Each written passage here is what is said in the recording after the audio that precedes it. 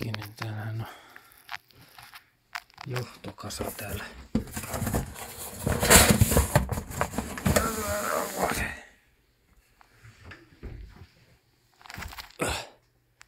No niin, täällä on tämmönen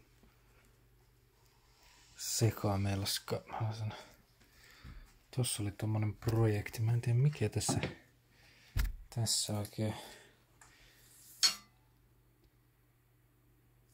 Ah niin.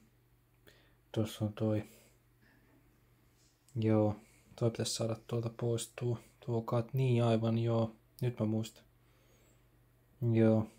Tuohon hyppylanka tulee tähän antenniin ja tuo on katkenut tuonne sisällä. Se pitäisi saada pois. Tämä on se skanneriantenni tuota noin niin matkaskanneriantenni, mutta ajattelin fiksata se. Mutta tää mun piti kuvata. Sori tätä sekoilua täällä. Mitäs meillä täällä on viime vuotisia nyt tästä?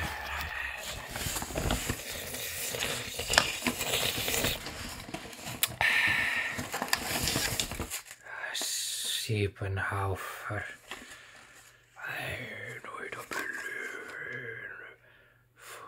Fontanny. Joo, en ymmärrä mitään.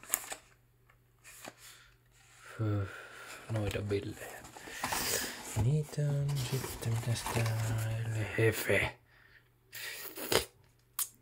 P1, El Hefe. El Hefe, El Hefe, mikä se Vrnst, Vrnstrana. No, sitten mitäs meillä sitten täältä löytyy? Meillä löytyy Vrnstrana. No, toinen Vrnstrana. Useita Vrnstranoja. No. Eli lisää Lufheufer Grün. Se oli Grün. Onks tää sitten Röd? On. Noita billejä. No ei mulla sitten olekaan muuta kuin tommosia säästynyt tonne tommosia pikkusia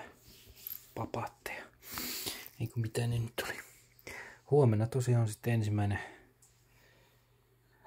jotain tulee varmaan ostettua. Katsotaan nyt. Niin, niin. Party Mix.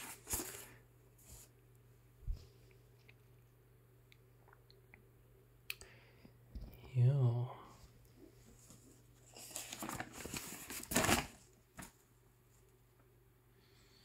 Semmonen. Ehkä tuo, no en tiedä, katsotaan.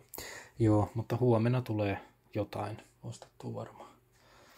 Varmaan vähän tää, tota, että miten ton saa tuolta fiksata.